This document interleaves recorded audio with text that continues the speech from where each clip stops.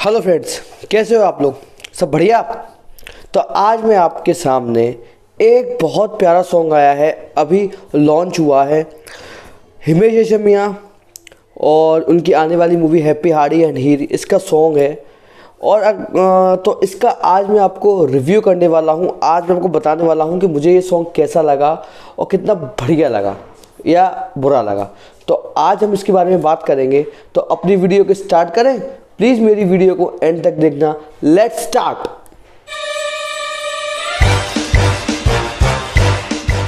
Hello friends मैं हूँ विनीत। तो आज हम रिव्यू करने वाले हैं, या यू कहें रिएक्शन करने वाले हैं हैप्पी हार्डी एंड हीर का एक नया सॉन्ग आया है।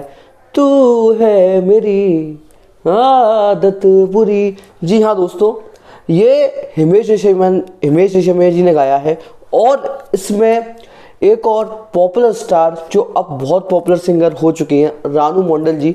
उन्होंने भी इस सॉन्ग को गाया है, साथ में हिमेश रेशमिया के साथ।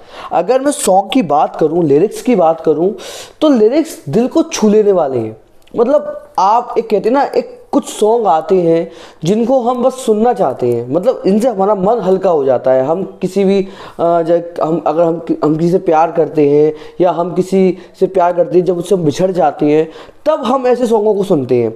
जैसे कि एक आया था आज की मूवी थी, उसके सॉन्ग थे तो और जो आपके, जो, जब जो तुम ही आना था, और ये ये ये जो सॉन्ग है, थोड़ी जगह, ये जो सॉन्ग है, वो दिल को छू लेने वाले हैं। तो उसी तरह से ये वाला भी सॉन्ग आया है, तू है मेरी आदत बुरी। मतलब हिमेश रेशमिया जी की एक बात बहुत अच्छी होती है कि जब वो अपने सॉन्ग्स लाते हैं तो उसमें बिल्कुल ऑरिजिनिटी रहती है।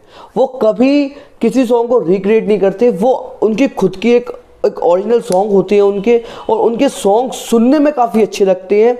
उनके हर तरह के सॉन्ग रहते हैं। एक डांस वाले भी रहते हैं, उनके इस तरह के भी रहते हैं। और ये जो सॉन्ग है, उसमें जो वो गा रहे हैं मतलब वो एक दिल से वो एक ऐसे सिंगर दिल से गाते हैं। और साथ में जब रानू मंडल जी इस सॉन्ग को सुनती हैं, जब इस सॉन्ग को गाती हैं, जब वो आती हैं सॉन्ग में उनकी आवाज़ आती है तो एक दिल को छू लेती है।